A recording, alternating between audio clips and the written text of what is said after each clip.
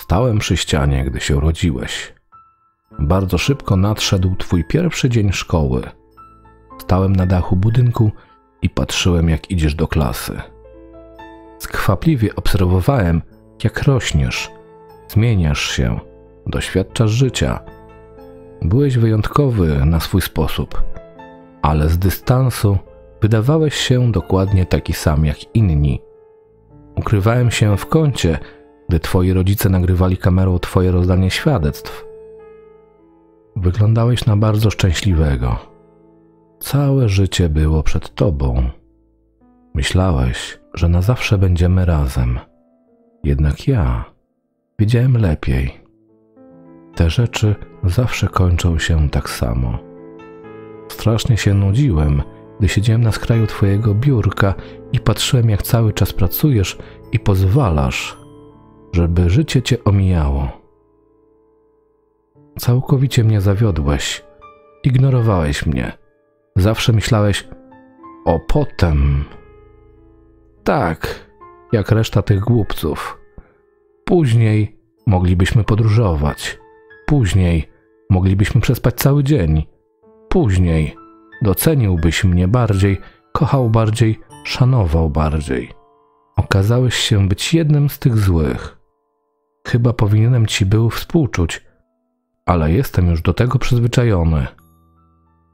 Cicho wdychałem woń twoich włosów i patrzyłem, jak ich kolor ulatnia się, zostawiając szarość i biel. Niegdyś miałeś bujne włosy o intensywnej barwie. Obwiniałeś mnie o zabranie ci tego. Nic nie czułeś, gdy lizałem twoją skórę, a moja żrąca ślina wypalała zmarszczki na twoim ciele, które niegdyś było tak gładkie i zdrowe. Później przyszło i odeszło.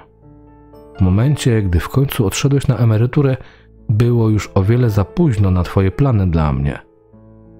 Nie mogłem też już zrobić niczego, oprócz tego, co zwykle. Czekałem i patrzyłem. Smutny, pusty wazon stał za mną na parapecie twojego szpitalnego pokoju. Cierpliwie spoglądałem na twoją usychającą formę.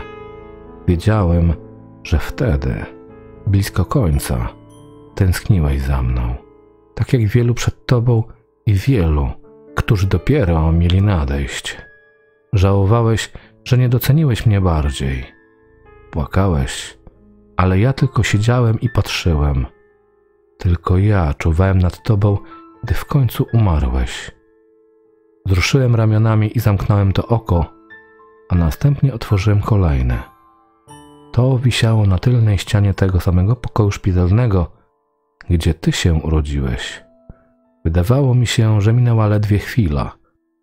Całe twoje życie było dla mnie niczym mrugnięciem okiem. Jako czas mam tendencję do patrzenia na rzeczy inaczej niż wy, śmiertelnicy. Może ten następny doceni mnie bardziej.